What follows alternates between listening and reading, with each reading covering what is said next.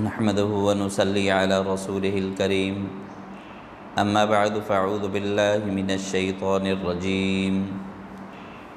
بسم الله الرحمن الرحيم.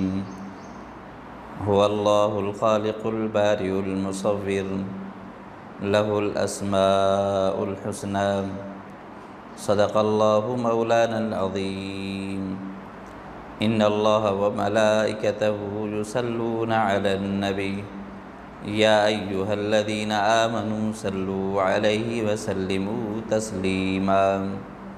اللهم صل على محمد النبي الأمي وعلى آله وأصحابه وبارك وسلم.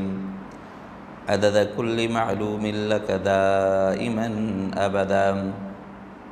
حضرات سامعین گرامی آج اس مجلس میں یہ گفتگو ہوگی کہ اللہ رب العزت کی ذات گرامی کا تعارف کیا ہے اور رب العزت کن اوصاف کے مالک ہیں۔ سب سے پہلے اللہ رب العزت کی ذات گرامی کی وصف یہ ظاہر ہوئی کہ وہ ہمارے حقیقی خالق ہیں۔ اس طرح کے دنیائے گلشن کو اس نے پیدا فرمایا۔ پھر ہر مخلوقات کو اس میں بسایا۔ زمین کو اس دنیا میں رکھا۔ زمین اپنی بساطت کے اعتبار سے اتنی بڑی ہے۔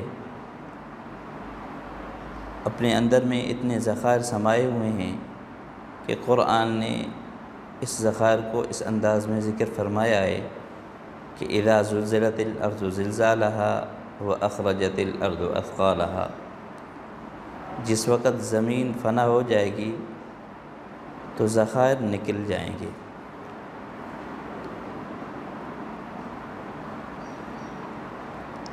آسمان کو اللہ رب العزت نے اتنی بلندی عطا فرمائی کہ اس کی بلندی صدیوں سے ہے بغیر کسی سہارے کے، ابھی بھی قائم ہے۔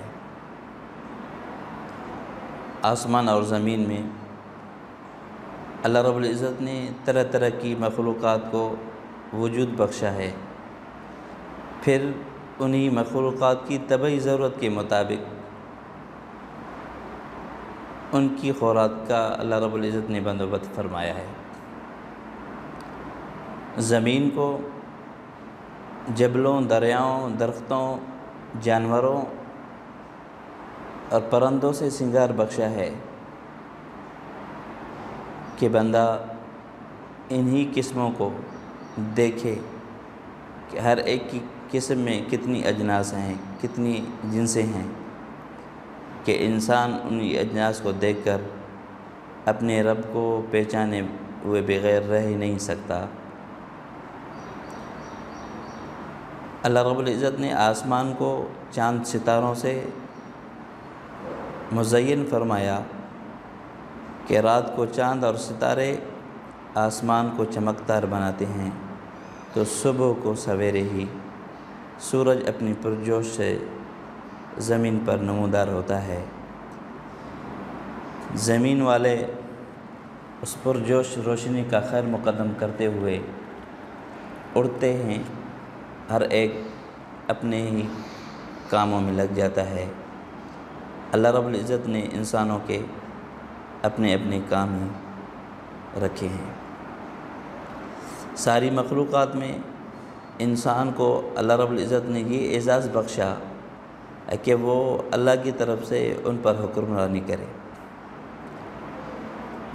بڑے سے بڑے طاقتور جانور اور درندہ خونخوار کیوں نہ ہو، وہ انسان کے آگے سر تسلیم کر کے فرما بردار ہو کر چلتا ہے۔ اور اسی طرح پکھی پرندے درختوں کی ٹہنیوں پر بیٹھ کر اپنے ہی انداز میں اپنے پیدا کرنے والے کی تعریف کرتے ہیں۔ یہ سارے مناظر اللہ رب العزت اپنے ہی بندوں کے لیے، اپنی پہچان کے لیے رکھے ہیں۔ اسی مناظر کو اللہ رب العزت نے قرآن مجید میں یوں ذکر فرمایا ہے، قد جاءکم بصائر من ربکم فمن ابصر فلنفسه۔ جس شخص نے میری مخلوقات کو دیکھ کر مجھے پہچانا، گویا کہ اس نے اپنے نفس کے لیے نصیحت حاصل کر لی ہے۔ دعا ہے اللہ رب العزت کی بارگاہ الہی میں کہ وہ اللہ ہمیں اپنی پہچان نصیب عطا فرمائے، اپنا موتی و فرما بردار بنا کر اور اس کی مخلوقات کی بھلائی اور فلاح کے لیے اپنی صلاحیتوں کو بروے کار لا کر جزت کریں۔ انشاءاللہ ملیں گے اگلی ملاقات میں۔ وما علینہ الا البلاغ المبین۔